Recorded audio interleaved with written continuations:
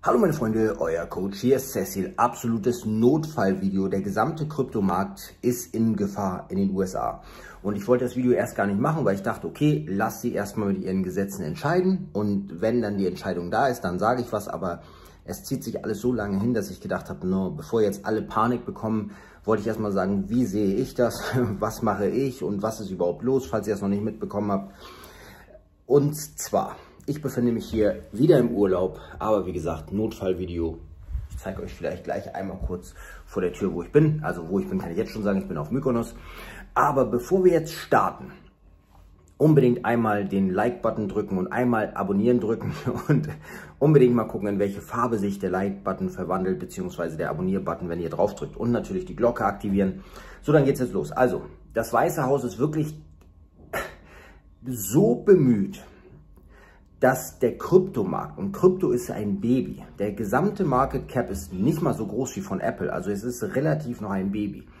Aber es ist so krass, dass jetzt alle darüber sprechen, dass das Weiße Haus jetzt im Senat über ein neues Gesetz jetzt entscheidet, obwohl es eigentlich ein Baby ist. Also die Gefahr ist so groß und, und die USA ist dabei, sich jetzt so rauszuschießen, weil sie sagen, okay, äh, wir wollen das Ganze jetzt regulieren. Wir wollen das Ganze jetzt regulieren und es geht nicht um Bitcoin und um Ethereum, sondern es geht um ja, Proof of Work, sagen sie, okay, Proof of Work ist okay, aber Proof of Stake, das ist jetzt ganz, ganz schlimm und da muss man ganz, ganz vorsichtig sein. Was fällt darunter? Zum Beispiel die ganzen DeFi-Plattformen. Warum greifen sie jetzt auf einmal die ganzen DeFi-Plattformen an? Weil sie natürlich sehen, dass alle Banken in Gefahr sind, wenn man bei der Bank vielleicht 0,0001% Zinsen bekommt oder Negativzinsen und man bei DeFi in den verschiedenen Protokollen 10, 15, 20% Rendite bekommt auf Stablecoins, da sehen Sie natürlich, okay, wir müssen da reinpreschen, wir müssen die Banken unterstützen, das geht ja so nicht, sowas wollen wir nicht. Und deswegen auch zum Beispiel äh, von, von der SEC, Gensler, Gary Gensler sagt dann auch so, ja, jetzt habe ich hier zwar irgendwie 14, 15 Bitcoin-ETF-Anträge liegen und Ethereum-Anträge auch schon, aber nee, sowas, äh, also finden wir nicht so gut. Aber so Futures äh, verkaufen, so Papier-Verarschungsdinger, wo die Firmen nicht Bitcoin kaufen müssen, um es dann anzubieten, sondern wieder solche Papierluft, ich verarsche alle, Wall Street-Style, da sagt er ja, sowas könnte ich mir eher vorstellen. Also die wollen einfach weitermachen, dass die Institutionen gar nicht wirklich Bitcoin kaufen müssen, eins zu eins, sondern wieder einfach so, hey, ich habe hier einen Zettel, da steht drauf, dass dir so und so viel Gold gehört. Ich habe davon 500.000 Zettel für ein Gramm Gold. Na, was denn? so, also sie wollen wieder mit der Verarsche so weitermachen. Es ist so krass. Und jetzt entscheiden sie darüber, dass sie sagen, okay, Moment mal, ähm, Infrastruktur, Bill praktisch, da gibt es jetzt im Senat einige, die haben, die haben überhaupt einfach überhaupt gar keine Ahnung von der Kryptowelt und die wollen einfach jetzt irgendwas entscheiden. Und auf der anderen Seite gibt es zum Glück noch Leute, auch im Senat, die dagegen sind, die sich auskennen, die sagen, ey, sowas kann nicht gehen. Wir, wir, wir schießen uns selber mit der Innovation aus. Das ist so, als wenn Amerika äh, entschieden hätte, ey, wir stoppen einfach jetzt das Internet. So, das wäre katastrophal gewesen. Und das Gleiche ist jetzt, indem sie sagen, hey, alle, die jetzt irgendwie Proof of äh, Stake, also irgendwelche DeFi-Projekte oder irgendwas haben wollen, die brauchen eine Broker-Lizenz. Also du musst praktisch, wenn du irgendwo was kaufen willst, zum Beispiel Solana oder so, oder irgendeinen Coin, musst du eine Lizenz haben. Und damit schießen sie natürlich, damit preschen sie richtig rein. Und das ist eine richtig große Gefahr. Wie sehe ich das? Äh, ist das jetzt wirklich so schlimm? Sprechen wir gleich drüber. Auf jeden Fall würde es die Innovation in den USA erstmal komplett ausbremsen. So, wenn die das jetzt entscheiden, morgen, übermorgen, in den nächsten Tagen, dann wird es auch nicht sofort sein, sondern erst in einem Jahr oder in zwei Jahren äh, ja, äh, eintreffen. Und bis dahin hat man dann auch Zeit. Das heißt dann nicht, dass man es nie mehr machen kann, sondern das heißt dann, dass die Macht von dem einzelnen Menschen genommen wird. Und das ist ja genau das, was sie immer wollen. Sie wollen alles kontrollieren. Sie wollen nicht, dass der einzelne Mensch sein Cardano, sein Solana irgendwo staken kann und da irgendwie 10, 15 Prozent Rendite drauf bekommt. Das soll zerstört werden. Und deswegen sagen sie, oder beziehungsweise deswegen ist die einzige Möglichkeit dann, was kann man denn dann machen? Dann könnte man zu den Plattformen gehen, die dann ja eine ja, Broker-Lizenz haben und darüber könnte man das dann machen, weil dann können die, das Weiße Haus und die alle können das dann wieder regulieren, dann regulieren sie Coinbase, dann sagen sie, hey, wer sind denn deine ganzen Kunden? So, und dann ist die Macht wieder von dem Einzelnen weg. Das ist deren Ziel. Die wollen das Bankensystem Wall Street schützen mit solchen Sachen und sie wollen die Macht immer wieder wegnehmen von dir. Das ist das einzige Ziel. So, wie sehe ich das jetzt?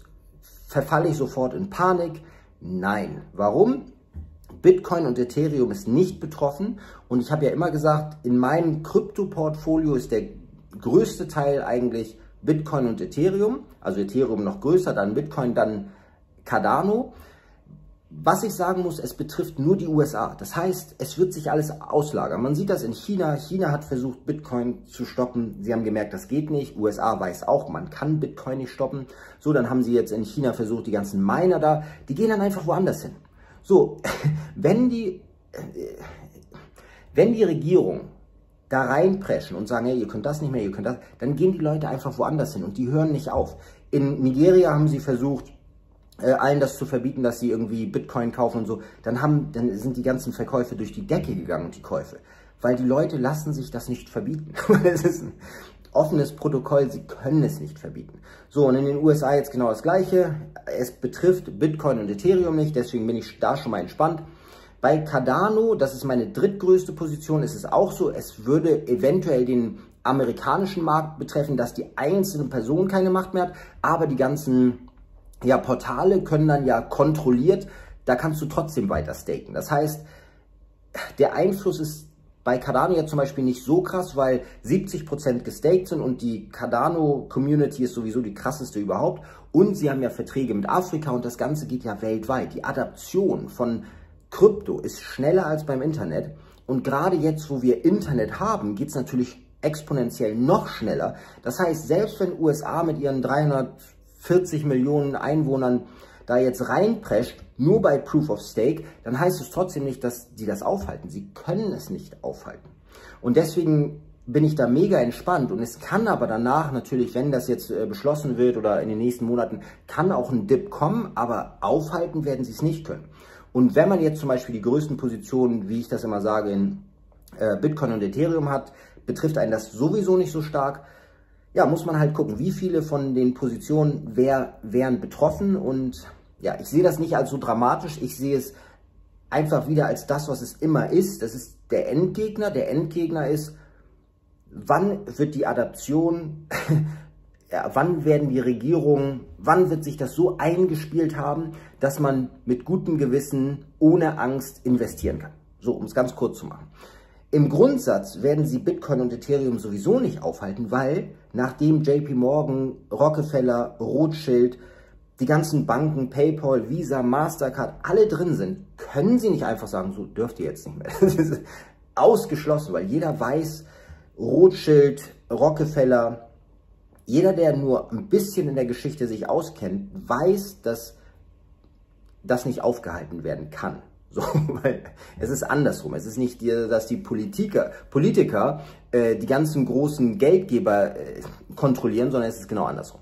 So, deswegen mache ich mir da wenig Sorgen, aber es ist auf jeden Fall was, was man jetzt beobachten muss. Und ich wollte erst ein Video machen, wenn alles fertig ist, aber habe ich gedacht, ich muss jetzt zwischendurch schnell, weil bevor man jetzt irgendwie panikartig sofort alles verkauft, würde ich nicht machen. Ich halte alles ganz genau so weiter und äh, das ist natürlich gar keine Empfehlung, das ist nur das, was ich mache, keine Empfehlung. Aber auf jeden Fall, dass ihr einmal so auf dem Laufenden seid und guckt gerne die anderen Videos von Altcoin Daily, von Lark Davis, von Bitboy Crypto. Da seht ihr genau, welche Senatoren dafür sind, dagegen sind. Dafür ist die Loomis zum Beispiel und so weiter. Alles nicht so re relevant. Es ist so im Großen und Ganzen die Story, die ich jetzt gerade gesagt habe. Und ich bin da mega entspannt. So, ich bin da mega entspannt, weil ich weiß, ähm, man kann es nicht aufhalten. Auch die Regierung werden es nicht aufhalten können. Sie wollen natürlich überall, dass alles reguliert ist, was ja auch gut ist, weil dann kann die Adaption stattfinden.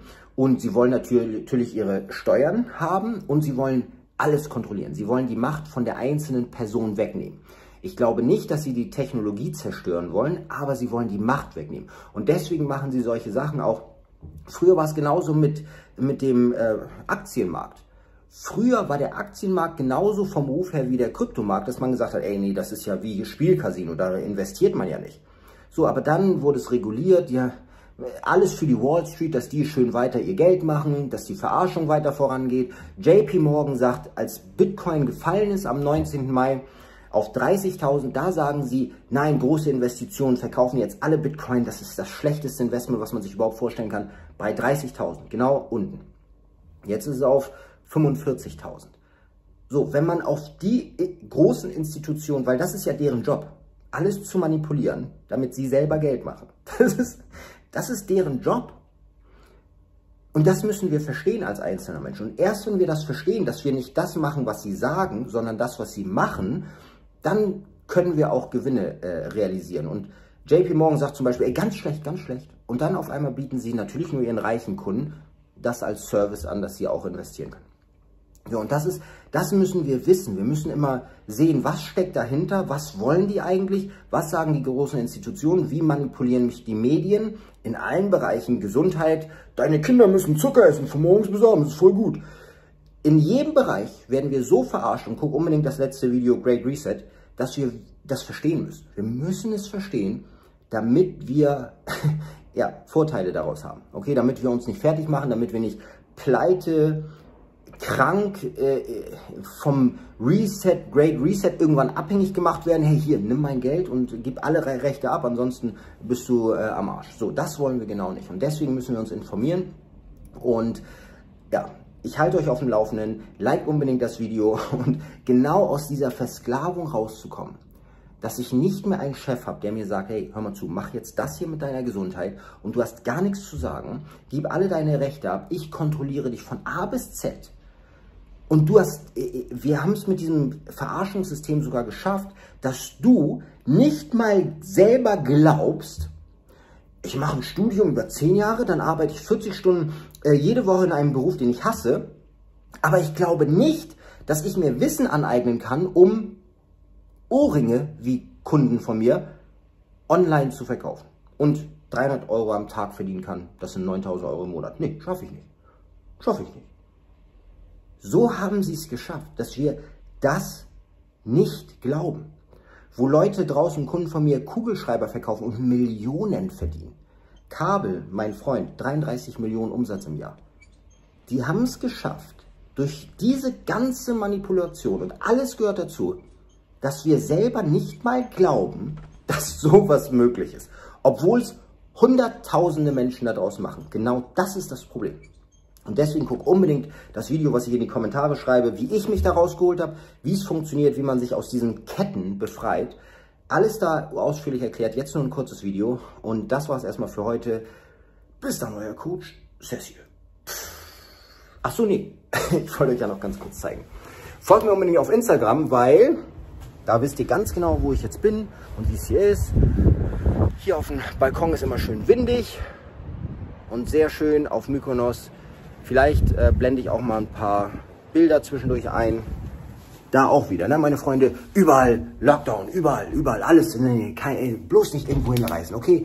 Nein, man darf nirgendwo mehr raus. Da überall, nein, ist voll. Nee, nee, überall Lockdown, okay? Überall Lockdown. ich mache immer genau das Gegenteil von dem, was ich in den Medien höre. Und damit fahre ich verdammt gut. Okay?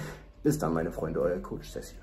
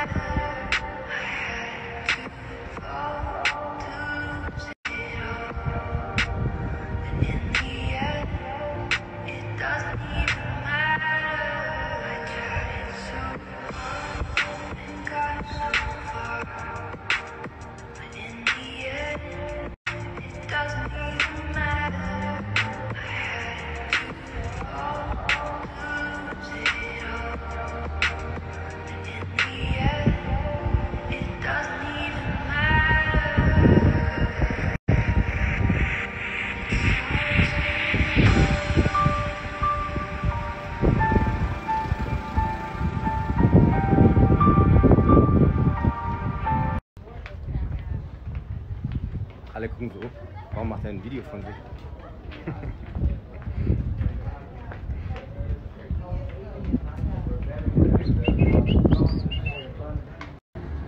Die Gassen sind einfach so schön auf Mykonos, das ist echt krass. Ganz schöne Leben. Sehr, sehr angenehmes Wetter jetzt.